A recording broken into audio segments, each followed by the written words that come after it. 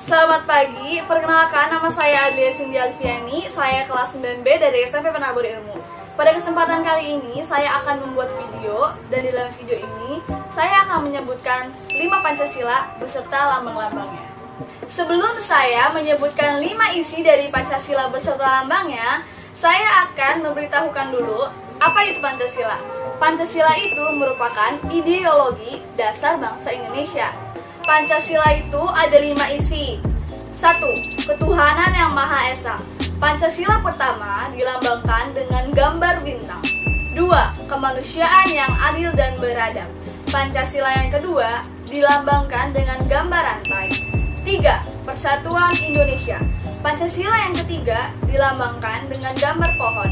Empat, kerakyatan yang dipimpin oleh hikmat kebijaksanaan dalam permusyawaratan perwakilan. Pancasila yang keempat itu dilambangkan dengan gambar banteng. 5. Keadilan sosial bagi seluruh rakyat Indonesia. Pancasila yang kelima atau yang terakhir dilambangkan dengan gambar padi. Demikian video saya dan saya sudah menyebutkan 5 isi dari Pancasila beserta lambangnya. Terima kasih. Mohon maaf bila ada kesalahan kata dari saya dan selamat pagi.